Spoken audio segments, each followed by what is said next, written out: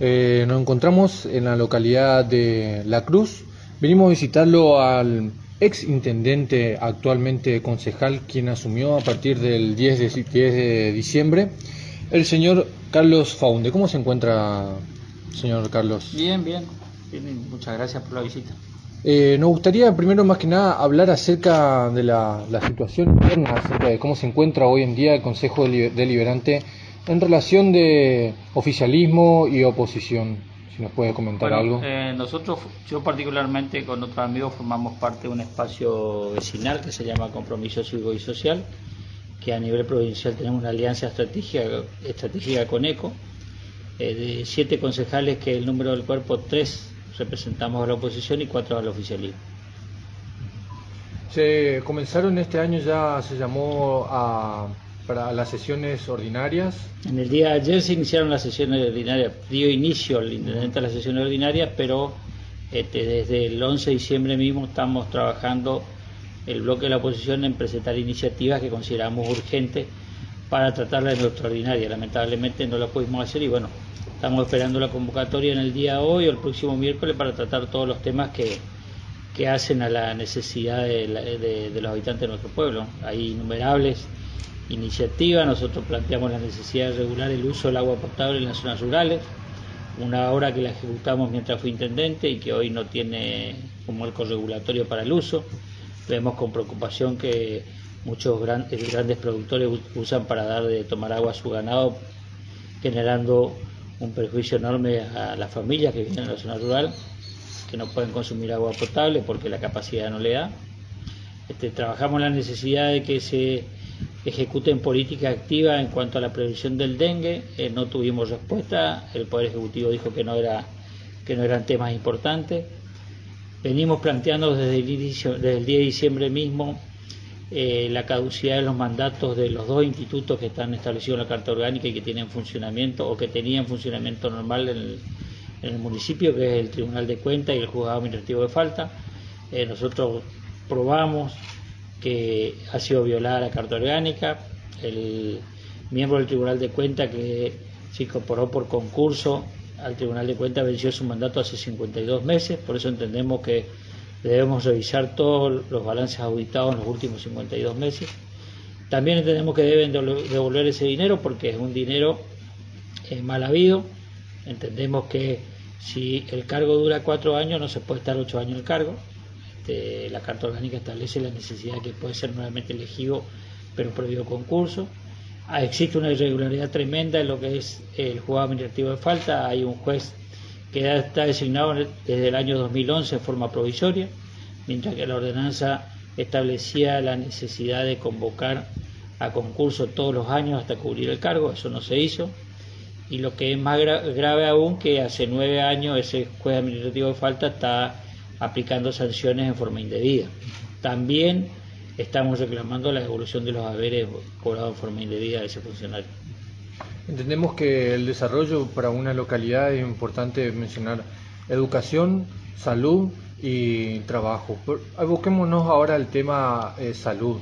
Acaba de mencionar también que falta tratar el tema, tema dengue, pero en sí el sistema de salud en la localidad, ¿cómo se encuentra? Es pésimo, pésimo, pésimo, este, y sobre todo en particular quien le habla, yo mientras fui intendente apliqué una política muy fuerte en materia de salud. En la localidad a partir del 2001 se abrieron tres centros de atención primaria, se le dotó al hospital de médicos, de medicamentos, de ambulancia, las salas primer auxilio tenían médicos, tenían medicamentos gracias al programa Remediar que se aplicaba en ese entonces, que hora buena ahora creo que se vuelve a aplicar. Este, le incorporamos equipos de rayo, ecógrafo, electrocardiógrafo al hospital y hoy vemos después de muchos años una desidia total, un abandono. Entendemos que el Ministerio de Obras Públicas está trabajando en la necesidad de eh, mejorar ediliciamente, pero yo creo que por sobre todas las cosas debemos mejorar el servicio. Este, no obstante, hay, es necesario mejorar eh, la infraestructura del hospital. Pero para que haya una atención médica adecuada, además de la infraestructura, hace falta servicio. ¿Qué significan los servicios? Más y mejores médicos, con medicamentos y con infraestructura hospitalaria que significa equipamiento. Acaba de mencionar eh, algunas irregularidades con respecto al sistema judicial y la relación con el municipio, pero ¿cómo ve usted el acceso al sistema judicial por parte de la ciudadanía? No, eh, tenemos, eh, no, no hablo de la justicia, hablo del tema del juzgado, administrativo de falta, no del juzgado. En, cuanto a la justicia propiamente dicha, tenemos una jueza que realmente este, realiza un gran desempeño, sobre todo este, en la atención a los problemas concretos que, le compete, pero por sobre todas las cosas hace un esfuerzo enorme en trabajar en, todo lo que tiene que ver con violencia familiar. Este, de hecho, impulsó la creación de un hogar para proteger a niños jóvenes y niños jóvenes y ancianos en, en, un hogar de tránsito.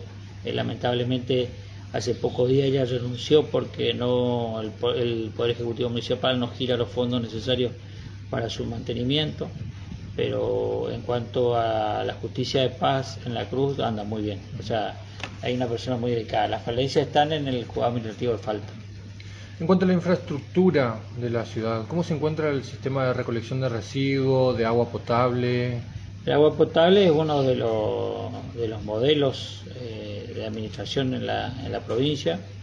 Es una COBESA, que es una comisión vecinal de saneamiento. Sus socios son los usuarios.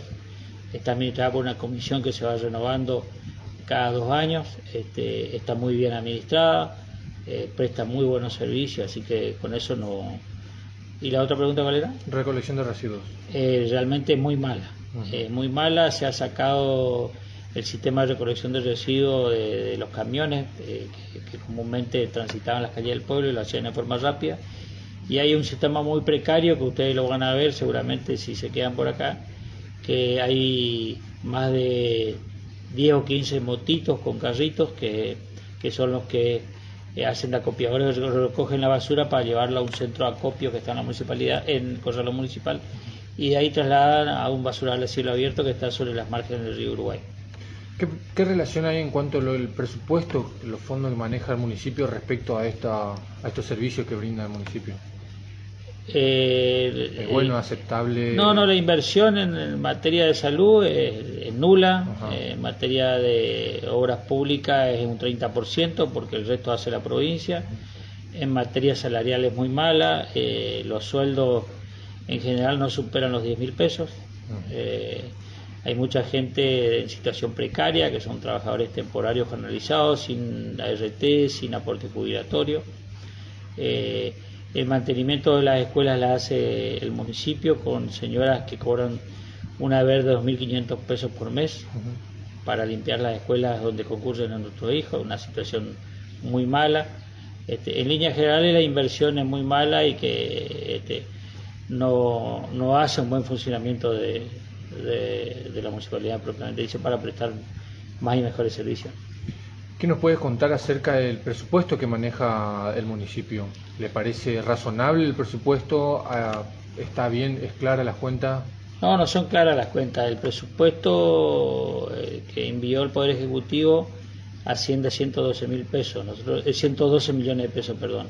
Nosotros entendemos, de acuerdo a las proyecciones, que lo que va a ejecutar el municipio este año es de 150 millones de pesos.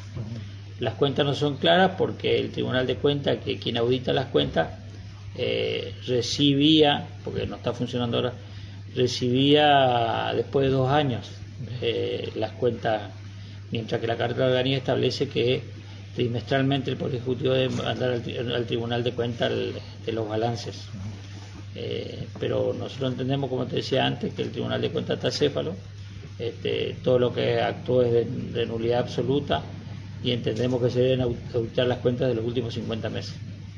Y tema trabajo, ¿hay algún avance en cuanto a presupuesto, a financiamiento de mano privada o bien instalación de parque industrial en la localidad?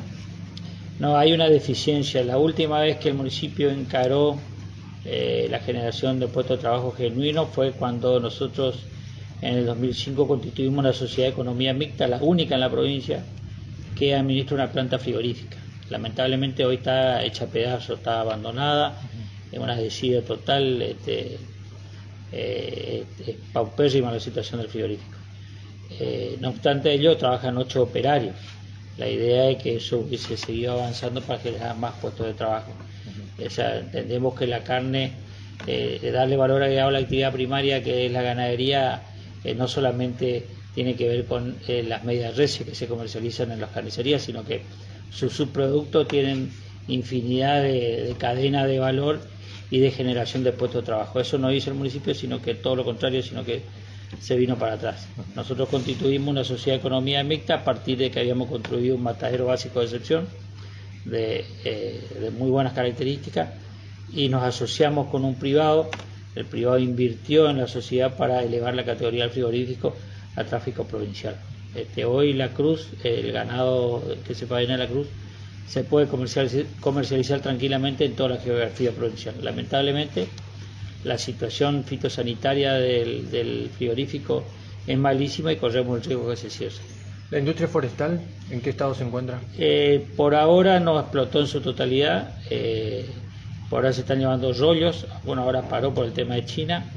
Pero se habla de que Masilla va a generar una importante actividad en materia forestal.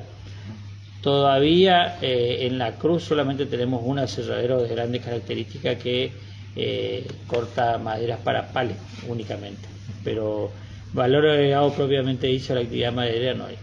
Tampoco la industria, lo que tenga que ver con la agricultura. La agricultura hay dos grandes arroceras que generan importantes fuentes de trabajo. Eh, en su momento en la localidad, en los años 70, 80 y 90, hubo casi 50 arroceros. Hoy hay solamente dos que obedecen a capitales extranjeros, en su mayoría multinacional.